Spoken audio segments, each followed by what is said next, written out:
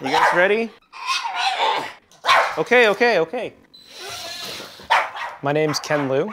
I'm a product design engineer at a large company in the Silicon Valley.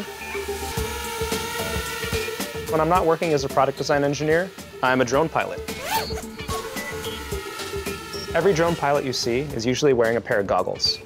The goggles have a wireless video receiver. This allows us to see the image from the pilot camera as if we were sitting right there. What I really love about flying drones is the feeling of flying, of real flight. And I feel like I'm in the cockpit of an aircraft. I can dance around trees, go around obstacles, fly 100 feet in the air and then dive down. It's a feeling of weightlessness, freedom, and the ability to do whatever I want in the air. My call sign happens to be Flying Bear, and it comes from the fact that I'm a UC Berkeley grad, so I'm a Cal Bear. And I've always said, I'd want to be Superman. I want to be able to fly. So I'm Flying Bear. The drones that we use for racing are very different than the things that can be bought at Best Buy, Fry's, or Amazon. We make all these from scratch. We select all the right components for high performance racing. I've been able to fly one of these racing drones up to 80 miles an hour cost for a racing drone is between 400 to $500. The video system, the motors, the flight controller, and the frame. Build time for me is about three to four hours. All in the cars? Um, I built it on this frame because these are... Every day for my lunch hour, I try to go to the park and practice with my friends. Go!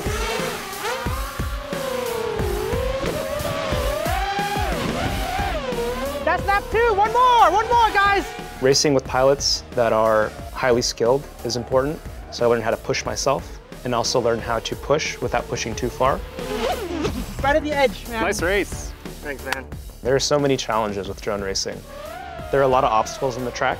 There are really tight turns leading into narrow gates. And simultaneously, there's a mental factor of trying to race as fast as possible to catch the person in front. A lot of races are single elimination, so if somebody doesn't beat the first pilot, they're done. Dang it! Oh, no! All right, guys, thanks for coming out for a great day of practice. See you all tomorrow at sunrise for race day. I got one hit, broke a motor. On November 21st of 2015, we have the Aerial Sports League's Fall Classic race. We have drone racing, combat, and freestyle all on the same day.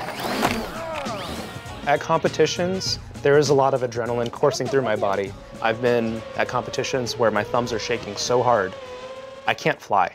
and they're in the air. Whoa! Oh no, clip one flag. Oh! I didn't even get to finish because I got hit in the air. So I hope this still works. I'll try to stay optimistic and then cross my fingers that I do well in Heat 4.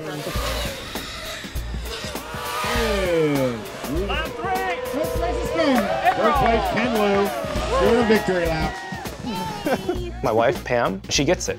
She helps me take photos at the events, she supports me, and makes me better at what I do. So this was our fourth qualifying round, and things went right for me for a change. Pam was spotting me telling me where I was relative to the other pilots, which is really important. The 20 points I earned here will hopefully bump me up into the top places and move on to the next round. They have to go around the track three times. Each racer is judged by somebody watching the same live feed from the pilot camera. The judge is making sure that each pilot is going through every obstacle and around every flag. He's in a spin, he's out of control. Oh, if they don't finish the obstacle and then they complete their lap, they're disqualified. How am I, Pam? The excitement is palpable. Finish!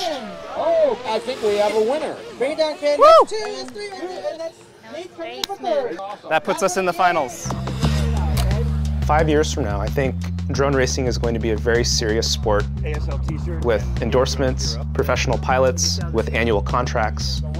Don't tell my boss, but if I was offered the right contract, I would quit my day job as a design engineer to fly. Oh man, who is that in the lead? Betty.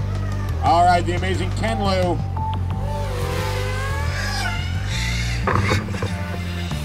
Oh, oh no! Oh no! That had to hurt. I couldn't see it. The sun.